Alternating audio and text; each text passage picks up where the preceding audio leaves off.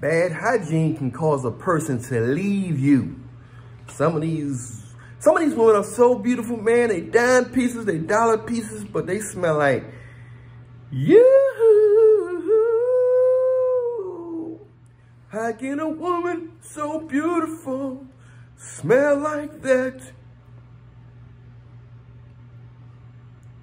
You look like a star, but you smell like a dead rat. Some of these women are gorgeous, but nasty. They stink. Bad hygiene. Their cars smell like toes. They got their whole closet in their car because they go on so many dates. They travel so much. So they're always ready for whatever. They just jump on.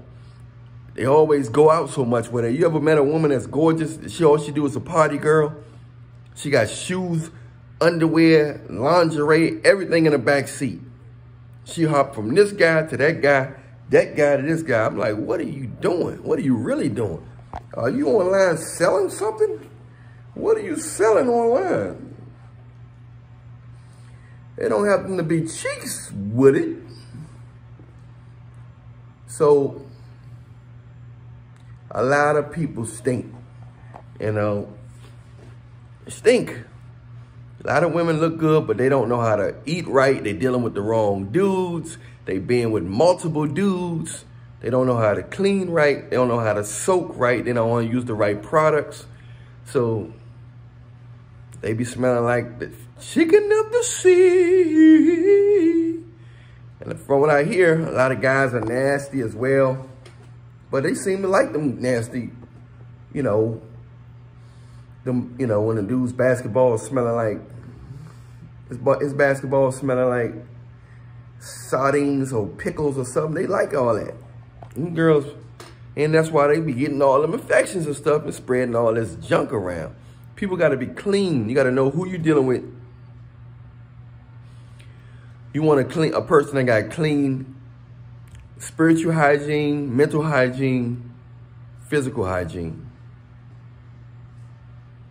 This is what you want. You want somebody with good hygiene.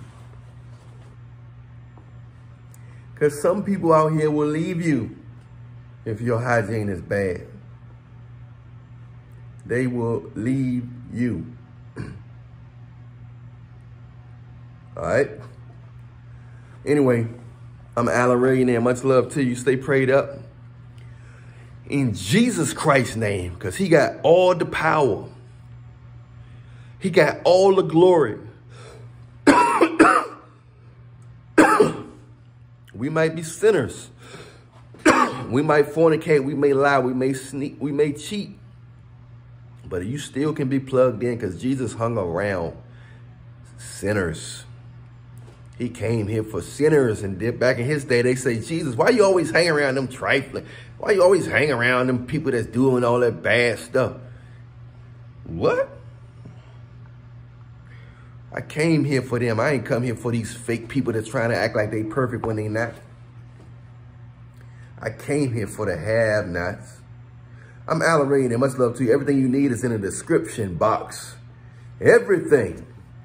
So go to the description box. If you want a consultation, message me on the Instagram link. Allan Reallionaire Show is my Instagram. Message me on that, Joan. And uh, if you want a consultation, let me know how much time you want. You want my latest book, The Blueprint, Man's Guide to Conquer Heartless, Selfish, and Controlling Women, $29.99. Let me know. I got to email the book to you. Stay prayed up, all right?